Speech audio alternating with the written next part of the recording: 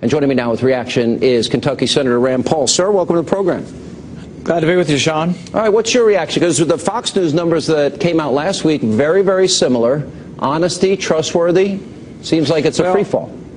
Well, I think the president leads in two fashions. He has the legal authority by being elected, but you also need moral authority. And I think this constellation of scandals, really, he's losing his moral authority to lead the nation.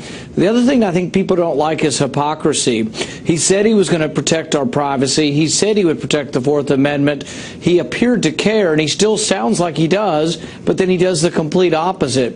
And then you have his director of intelligence who looks straight at a senator and says, We're not collecting any data on Americans, when in fact the truth is they're collecting a billion phone calls every day. Yeah. You know, I once asked you, how do you describe yourself politically? And, you know, Republican, Democrat, Libertarian, and your, your answer was interesting to me. You said constitutional conservative. How you does know, this... Go ahead. Uh, I would say I'm an originalist. You know, I, I, like Scalia, I like Thomas on the court. They're my two favorites.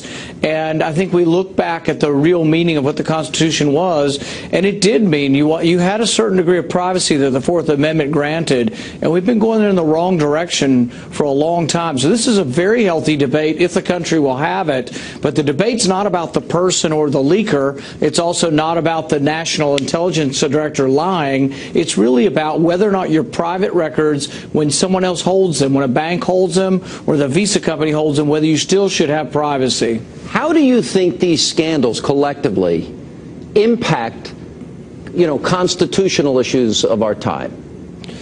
You know, they add, they add to each other. And I think the IRS scandal was uh, very damaging to the president's credibility because it appears as if he's targeting political opponents. And now it turns out that the woman who took the Fifth Amendment used to be in the FEC and she was threatening Republican candidates as much as 10 or 15 years ago. I wonder if this goes deeper into the culture of a government union that runs the IRS and whether or not there is an animus towards any of us who want to lower taxation and have limited government. I think really there has to be a top to bottom reviewing of the IRS at large because is there a systemic problem over there? All right, let me ask you um, about the immigration bill, which now is making its way through the Senate. Lindsey Graham said this weekend that Hispanics cost Romney the election, and if we don't pass immigration reform, if we don't get it off the, the table, uh, we're in a demo, uh, demographic death spiral. Do you think he's right on that? I absolutely believe that we need to be more inclusive and that we need to go out and talk to Hispanics and Latinos and tell them why the Republican Party is a good fit for them.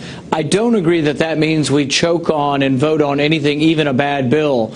Recently, the proponents, the Gang of Eight, are saying that legalization happens before we get to border security. That's the opposite of what conservatives want. I have an amendment, trust but verify, but it guarantees that the legalization is dependent upon border security, and only if the border gets more secure does legalization happen. That's the only thing the House would accept, and so they're going down a path saying they're going to legalize people no matter whether we get border security. That won't fly in the House. Do you think they want this to fail, meaning the Democrats, because they can use it as a, a wedge issue?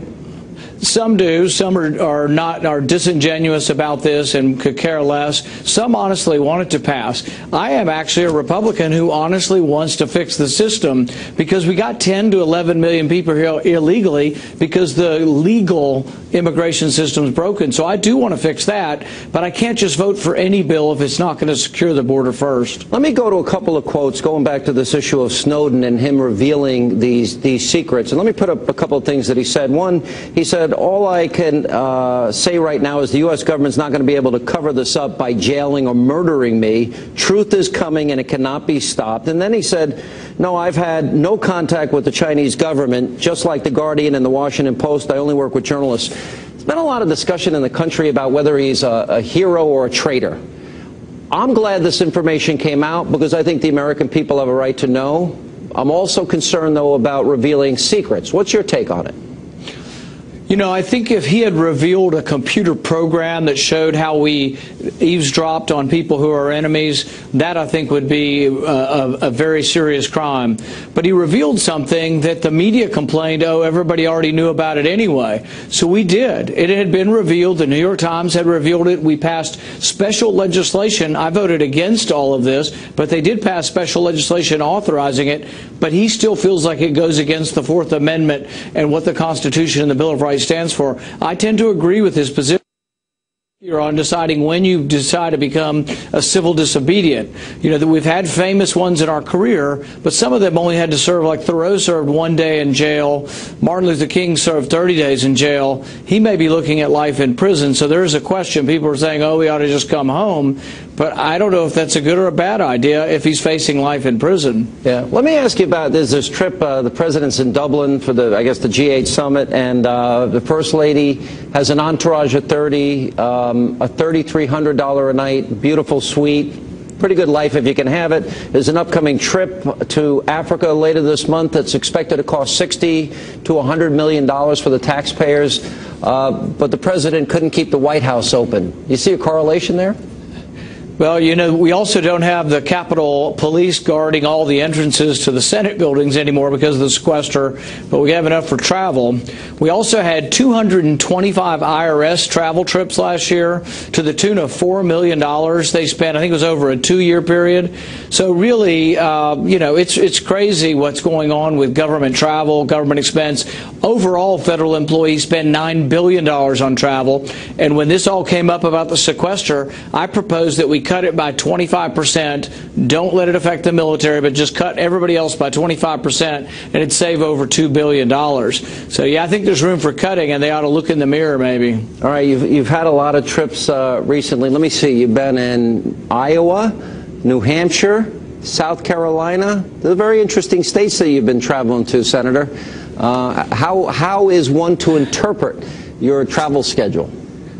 Well, you know, when you go to the early primary states, people do pay attention. And right now, I want them to pay attention to the fact that I want a bigger Republican Party that competes in all 50 states. I want to go from 5% of the African American vote to at least 20, 25% of the African American vote in one election.